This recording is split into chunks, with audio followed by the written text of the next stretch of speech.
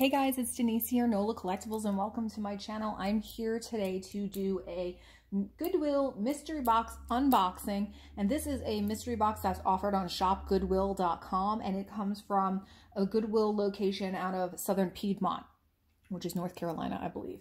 And so they charge $49.99 for this plus shipping. And so I have to tell you about this story. I had previously purchased this mystery box from Shop Goodwill from this exact location. And uh, I kind of had like a disappointing experience. Uh, I was expecting, I guess, like higher quality given the price point, kind of like the curated blue boxes that they used to do. And it really kind of contained a lot of like direct from China and frankly, I don't know, I was just kind of just disappointed in the contents. And so Goodwill actually reached out to me as a follow-up and they were they were like, we saw your video, video, we're very sorry, you were disappointed and we would like to send you a replacement box. So I was like, okay, I'm, that's wonderful. So wonderful customer service, I thought, from Goodwill. It shows really that they're looking and they're listening to people and they're paying attention. So yeah, kind of a long intro. So I'm not going to give you all the rest of the stuff. You know what to do give me a like, hit the subscribe button if you haven't already. Let's go. Let's do this. Um, so it's a big box and in there, I'm just going to go straight here because this is just sitting on top and this is looking like something from Nine West. Okay. And this is a Nine West watch. This is beautiful. Let's see. This looks brand new. Really pretty watch. Okay. And just like they do with Goodwill, it's got a, looks like it has a fresh battery and it is in working order. And so this is really pretty. It is in ro rose gold and it just has this really pretty oversized, you know, face. The crystal's really pretty nice bezel crystal and gold, like I said, rose gold colored and um, a really pretty kind of like beautiful floral design on the face. And so this is gorgeous, you guys. Really pretty. I like the thin kind of band on this. And this, like I said, is looking brand new. So what do we have in here? Just Nine, Nine West Care and Repairs. That's cool. Um, okay, so that's gorgeous. That's really, really nice. I love it. Very nice. That's a great little first piece of jewelry. Um, and so then we have here, oh, this is heavy. This is what the rest of it's looking like. It's a big old bag of jewelry. So I'm going to keep this right next to me, I think, and I'm just going to pull items from it. I'm so excited, you guys. What a great weekend. Always fun to look through jewelry, I say. Uh, so I'm taking this out and this is just a really big kind of like heavy cuff bracelet and it's got some maybe pony there and it's looking like this is J. Crew. And so just a really pretty faux kind of faux leopard design, gold tone, very, very heavy clamper from J. Crew. And so this is very nice as well. And it's in pretty good condition. So it's really heavy. It's really nicely made. Let's see. Let's put it on. Yeah. I like it. Very nice. Just realized I had a bracelet on and I don't know what I did with it. Uh, but anyway, sure I'll find it somewhere. You know, you guys like eat all over the house. I'm like eternally taking my jewelry off and like putting it back on. I'm sure you guys are the same way. Uh, right here, this is looking like a little kind of like sterling silver bracelet right here. Just a standard little beaded guy. Yep, this looks like sterling silver to me. You can see it's got a nice little lobster claw clasp on it. And that guy is looking like that. And that's nice also. I definitely have bought and sold and gotten these in bags and stuff like that. Just, it's a very nice little basic. It always goes with everything. And so that's good too. That's really nice. Little sterling silver bracelet. Okay. So there's like a lot of stuff in here.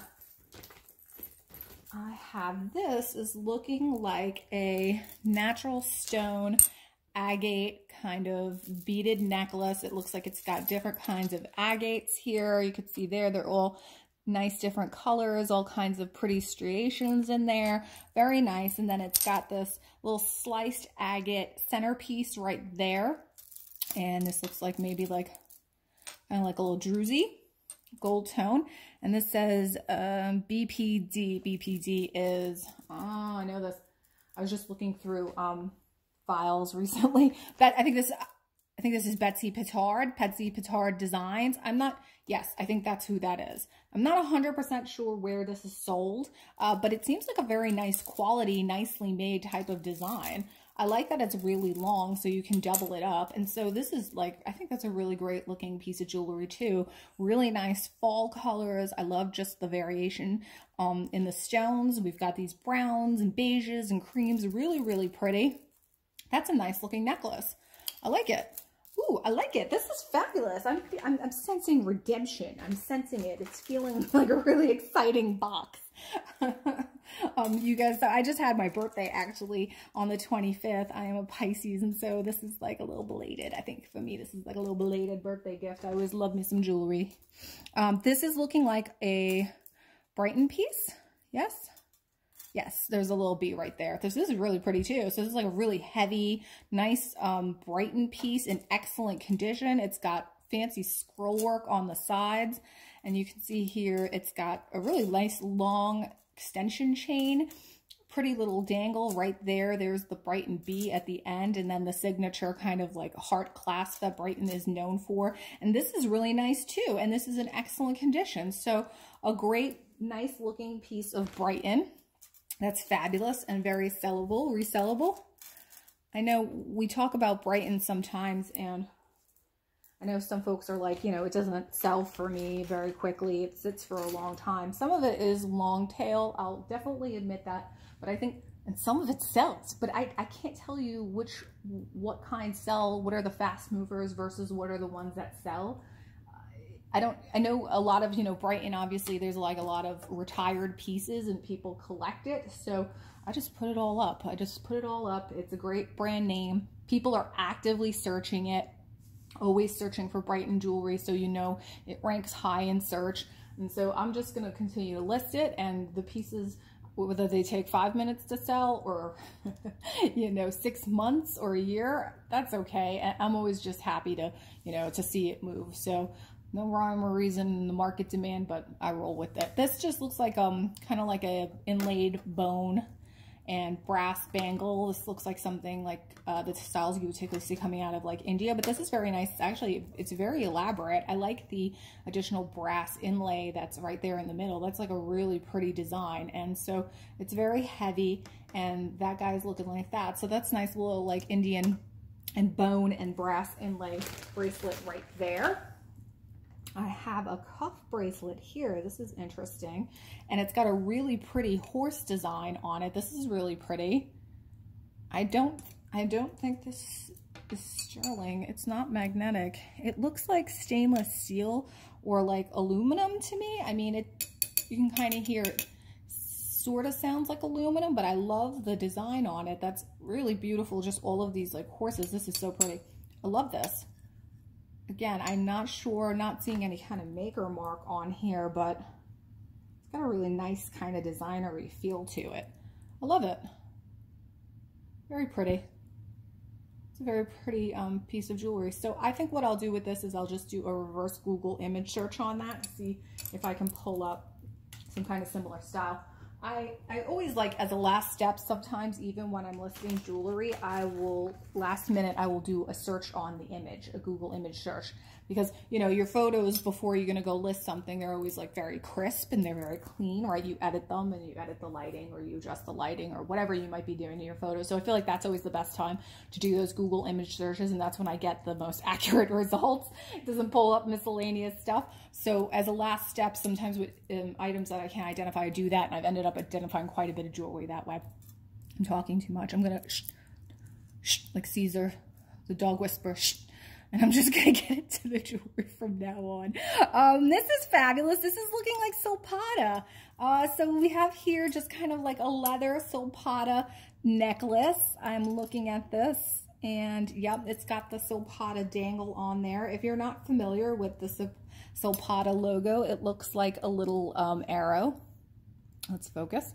So that's it. That's the Silpada logo. I've I have had jewelry like this in the past where it's kind of like this leather cord and it has a silver, sterling silver kind of like bead or centerpiece. And so this is really pretty. And Silpada, again, another one of those brands people are always actively seeking and searching for. So I will just definitely clean this up and um, this will sell. This is great. I love it. Very, very nice. Awesome. Dude, this is like the best box ever. This is the best box ever. I love it. Thank you, Goodwill. Thanks for the customer service.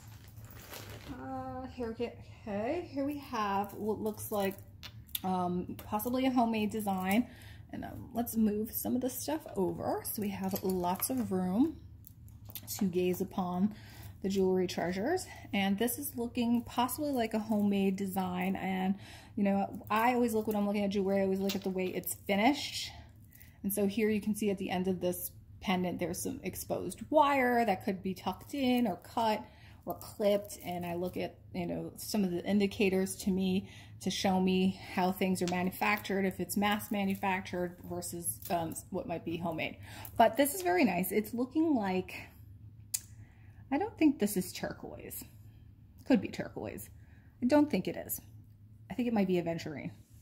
And looking like maybe some dyed coral. This right here. Definitely dyed. And then this, not sure. You guys tell me what you think this is. I don't know.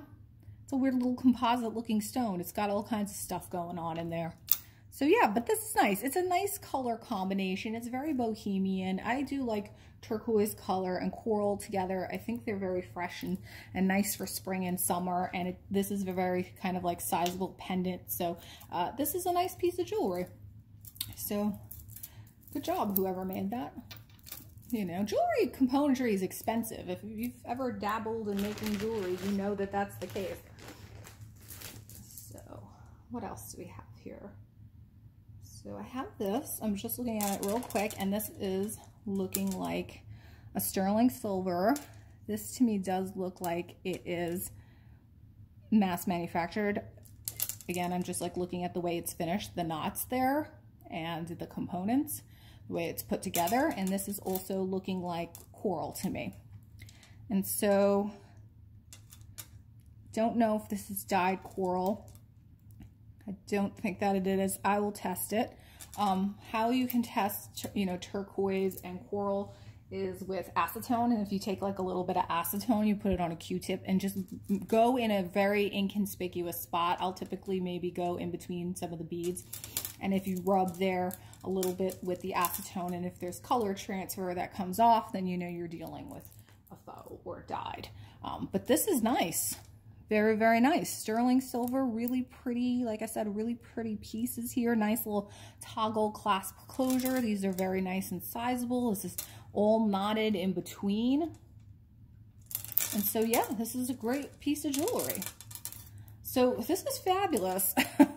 so far, this is excellent. I have zero complaints. Uh, like I said, really nice of them to have offered that to me. It's, uh, it's great. And there's still uh, some more, a lot more in here. So let's keep going. I have this, which is looking like a this like faux pearl costume jewelry necklace. And this one has a tag on it. This is Lauren by Ralph Lauren. There's the LRL logo that um, is specific to Lauren by Ralph Lauren. Lauren Ralph Lauren is the lower kind of lower tiered brand of Ralph Lauren named after Dylan Lauren. Dylan Lauren, Ralph Lauren's daughter, right? You have to double check me on that. I think that's who it's named after, Dylan Lauren. Um, but yeah, this is beautiful. Really nice. Brand new with the tag. Nice and shiny here. Pretty uh, nice. Typically sold in something like a Bloomingdale's or like a Macy's. And this is beautiful. Very, very nice. Lovely. Nice little piece of Ralph Lauren, Lauren Ralph Lauren jewelry. So that's great. I will put that there. I'm grabbing, there's a brooch in here, and this one is looking like Monet. So there's a little Monet brooch. this is looking like newer Monet, not vintage Monet. Uh, Monet was around, uh, I believe, until the 90s, and it changed hands several times over as a brand. And towards the later years, I forget who owned it, um, but this to me definitely looks like a newer Monet piece. So yeah, we just have this Monet brooch, newer Monet brooch, and I'll put that right there. And going back into this bag, and I'm seeing this ring right here, and this is just kind of like a wide cigar band style ring, and it's like very wide, and it says, be true to your dreams and um, looking like that. And let's see, kind of got like a hand hammered feel to it. And I'm seeing in there the little Silpada logo once again, if we could look right there, and it actually says Israel right below it. So a lot of Silpada items are manufactured in Israel. Israel, you know, they do have a really robust kind of uh, silver smithing artisan trade. Um, so yeah, that's a lot of nice, well-made, heavy pieces do come out of Israel. And so that's just a really beautiful Silpada sterling silver ring. So that's really nice. Happy with that. And so also in there, we have this, which is looking just like kind of like a glass beaded, almost like lampwork style bead here, black with the pastels and the pink and the green, giving me kind of like definitely like 80s vibes, you know, how it's it's just got that almost tribal geometric look to it. And this coloration, the pastels, you know, think like the Golden Girls. It's giving me like pseudo 80s Miami vibes, kind of like a Golden Girls couch. I don't know. I don't know what I'm saying. I just make this stuff up, you guys. Um, anyway, it looks like it could be a handmade item, and I'm looking at it here again, and you can kind of see that there's a difference in the variation of the lengths. You can see these these beads right here kind of have like aluminum spacers between them, whereas these have smaller little kind of almost bugle beads between them. And so there's definitely some kind of Frankensteining that may have went on here, but I really like it. I think it's a really beautiful necklace. I like the length on it, which is really nice. Um, yeah, overall, I just think it's a good looking necklace. I think it's different. And so that's nice. I'm happy with that. Very, very nice. Let's see what else you've got here. I'm going to go right here pulling this out and this is looking like a, a turquoise and amber chip necklace. This is really pretty. It has these cones at the end, which is something you do typically see with like Native American style jewelry. You can see that right there. Um, and if you come in even closer, I don't know if this is too close, but you can see there's almost like a sun there and it says sterling. I have seen that um, component on, like I said, Native American style jewelry. Need to refocus. So this is really beautiful. Nice big chunky turquoise pendant here. And again, really nice kind of amber chippies interspersed with these turquoise chippies. And I, I do love this finish on it, the, the cone finish. I've actually, in my own bead making and jewelry design stuff, I've purchased these components myself. So I, I just like the way they look. I think they give it a very kind of distinct look look to it and feeling. So that's really beautiful as well. Really nice, possibly artisan made, possibly Native American. Um, not sure. The amber incorporation, not something you do typically see a lot with Native American styles, but I like it. I think it's beautiful. I think the um, amber looks really, really nice. You can see it's got like a nice, deep, rich, reddish kind of hue to it. That's very, very nice. So yeah, awesome. Beautiful stuff fantastic stuff so far. I am not disappointed in the least. This is like more than makes up for that box 10 times over, that other box I received. Here I'm having, and I'm messing with it a little bit, so you'll forgive me for making all this noise. They're a little tangly. Um, it, this is a pair of Brighton earrings, new on card, and they're really cute. They've got this little butterfly motif, and it's, uh, it says here, it's actually got, you know, this, the SKU right on. It says Natalia reversible. So this is a pair of Brighton Natalia reversible earrings. So you could probably take the little butterfly component off and I'm sure it's got like some kind of like simpler design on the back. Let's focus up, focus up people. Too much junk. Um, yeah, so that's nice too. Very, very nice. Beautiful. Brand new on card Brighton earrings. You can't really go wrong with that. And so pulling out here too, and I just saw this bracelet here, and this is looking like a, a sterling silver tennis bracelet. Really pretty kind of S-bar link design, very traditional tennis bar, uh, tennis bracelet style with the S-bars in between the stones. It is marked 925. I suspect, you know, that these are cubic zirconia, but they're very pretty. They're very shiny. And you can see it has the double bar uh, the double safety latches on there. So really pretty, in excellent condition, almost looks brand new. Sterling silver S-bar tennis bracelet with double safety clasps closures there. So that's beautiful as well. So this box is, is amazing, you guys. This is really, I mean, these guys, this is spoil you all. They're spoiling me. And I bought, I feel like I've bought so much good Goodwill stuff that I'm okay with it. I love it. um, okay, so there's a little baggie here, and in the baggie was is a little um, cameo brooch and earring set, and these guys are looking like 1928 brand, 1928 brand, uh, U.S. based jewelry brand. I think they're based out of San Francisco, California, and they make kind of um, revival jewelry of styles that are typical of Victorian era. Um, you know, and, uh, you know, so like lavalier style jewelry, you know, brooch cameo style jewelry. And so this is really beautiful because it's got the, um, it's a full set here, the brooch and the earrings, which is really, really lovely. And so that looks great. And it looks to be in fantastic condition. And so this, uh, you know, this is obviously resin. This is not real cameo and one little tip to tell you, you know, with Cameo, when you're like looking for real Cameo, Cameo is cold. It's cold to the touch. So I think an easy way sometimes to feel whether it, the Cameo is real shell is to kind of like hold it to your cheek. And if it feels cool, um, that, then you'll know it's likely real Cameo uh, shell but also it's usually set in a way where it's showcasing the transparency and the beautiful intricacies of the design. So it'll be set in something that also lets the light through. So typically real cameo will have an open back design. So those are a couple of tips. Uh, another tip is this, this girl, she is known in the industry. Her name is Ponytail Girl. So Ponytail Girl, if you see her, the likelihood of it being uh, resin as opposed to real cameo. She's been used for years. This mold was used across multiple manufacturers. Avon used her.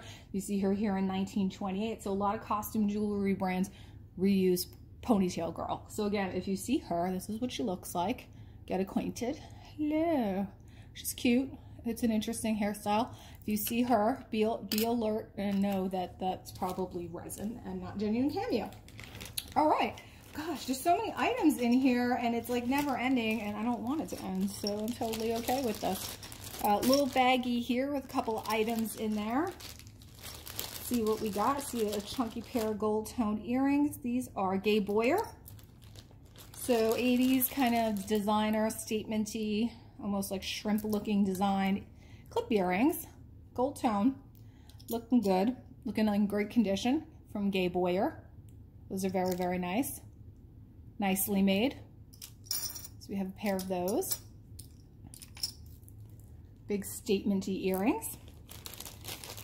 We have another pair of clip earrings in here. I'm seeing these are looking like Trifari. Yes, I have many styles very similar to this from Trifari. This is Crown Trifari. Crown Trifari, when you look at the logo, it's a great way to date Trifari jewelry um, and determine what year it's from by looking at the logo. the one with the crown, I believe, is 1955 to 1969. So know that when you're seeing this type of jewelry, that's the the uh, date range that you're looking at and also that it's a likelihood that it is not Alfred Philippe. Alfred Philippe, a high-profile Trifari designer, pieces are highly sought after.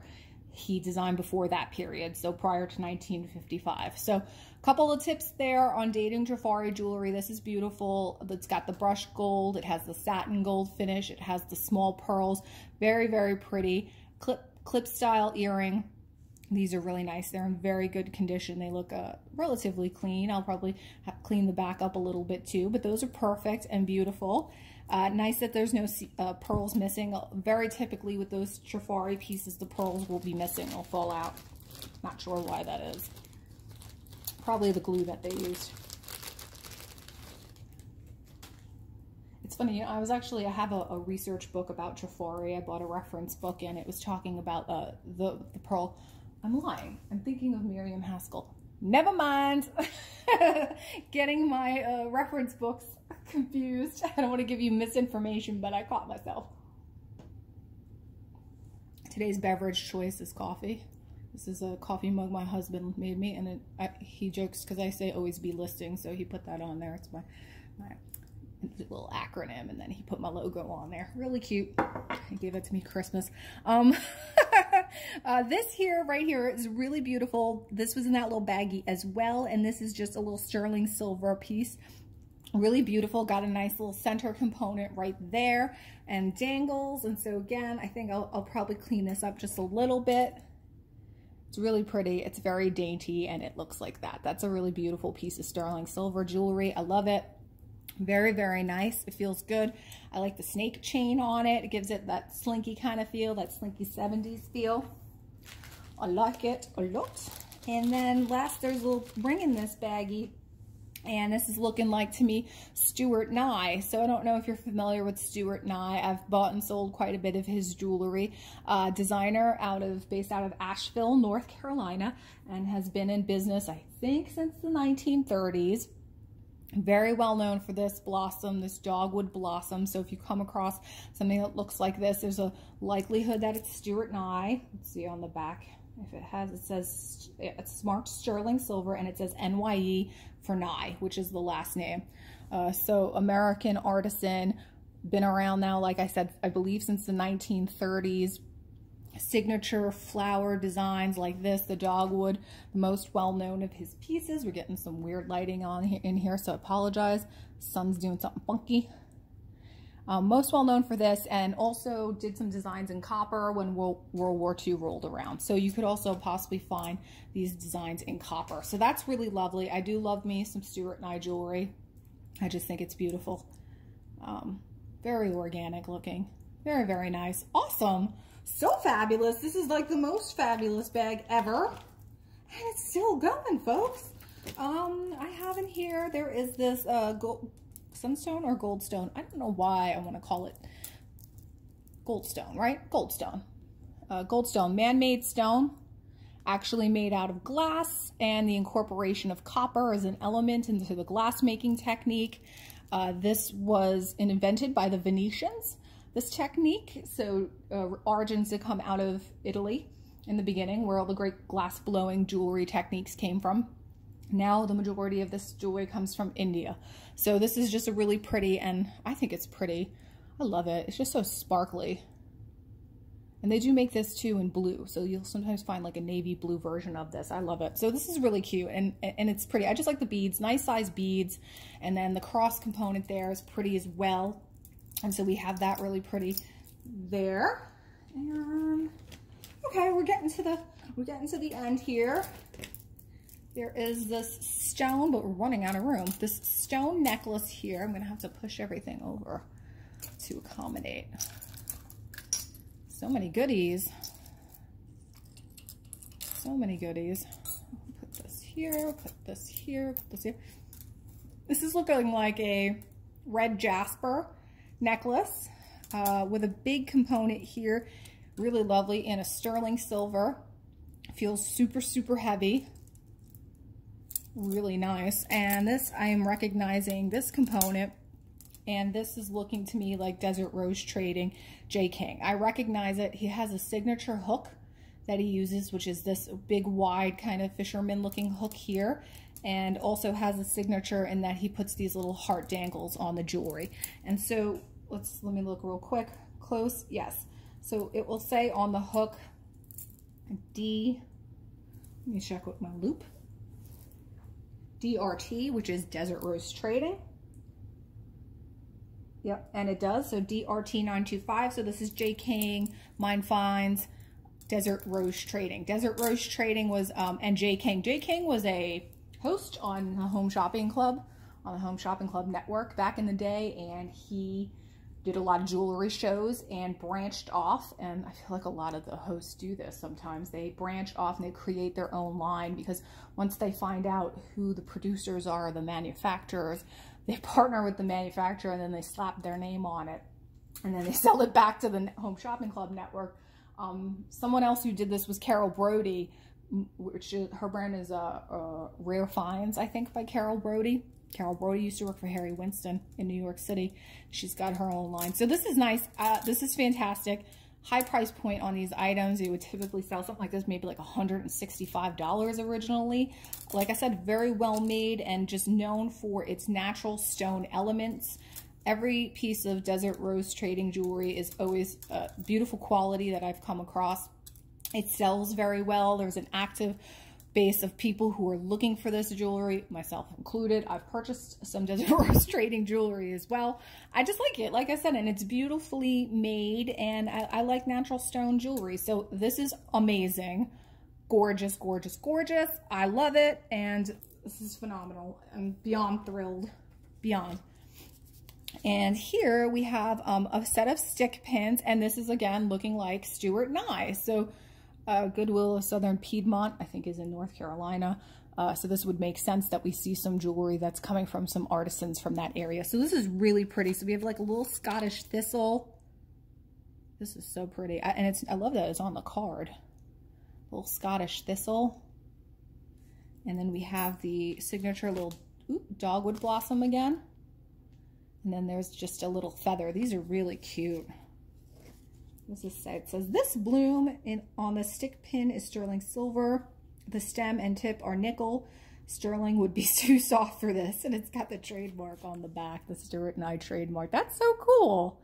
I've never seen the original packaging on the Stuart and I I always just get the jewelry. So that's really, really cool. I love that. Nice, more Stuart Nye. That's so exciting. Love that. American artisans. So nice that we have some of our American artisans still around. Um, we got to support them. I wish I went to their shop when I was in Asheville. I didn't know at the time. Let's see. I like Asheville. It's a fun little town. Um, okay, so we're coming down to a wire here, and, and this was in here too, and this is a gold tone kind of, I don't know, macaroni link. What would we call this? Just gold tone, heavy, and this also has a safety clasp on it, and I'm looking, and this says, this also says 925. This is a big honker, big chunky monkey It says Brev 925.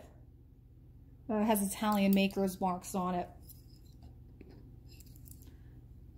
It's got Italian assay marks. I think this Altrudi, Altrudi. It's definitely Italian. Okay, it's gorgeous. It's gorgeous. It's beautiful, gold tone, big heavy, sterling silver, gold overlay, uh, super chunky sterling silver Italian. Really, really nice. I bet you this weighs quite a bit. So super happy with that. Everything has been fabulous. And so there's only three items left, you guys. I have this little brooch right here. And this is KNT. I am not familiar with that brand, but it just looks like um, a costume jewelry brand right there. So we have that little brooch. put the guy right there. And then I have one of these guys. I have bought and sold these previously. They're usually like English porcelain. And this one says Staffordshire, I uh Staffordshire, England, Staffordshire, England. Hold on, let me look real quick because I've seen a logo. They're usually by different brands.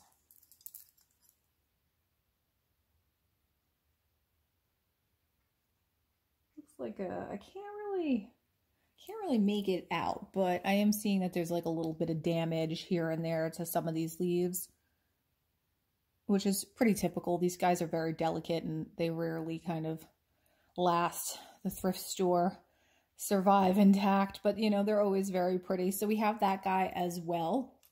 I'll put that right there. And then finally, there's this little pendant here, which is like a really nice kind of carved mother of pearl shell. And that guy's looking like that. That's very nice. I don't think that that is sterling silver. Let me see. It's not magnetic, um, but I don't think it looks like sterling silver, but I'll definitely test it just in case. And so that's everything, you guys. I think, you know, this was an amazing box. And, you know, this location from Shop Goodwill, which was Southern Piedmont, um, I told you like I had done a previous unboxing. It was $49.99 and I wasn't exactly super happy with the content. So they reached out to me and they offered to send me another box, which was amazing customer service from Goodwill. And this box is like really beyond, I, I mean, more than makes up for uh, the other one. And just fabulous items in here.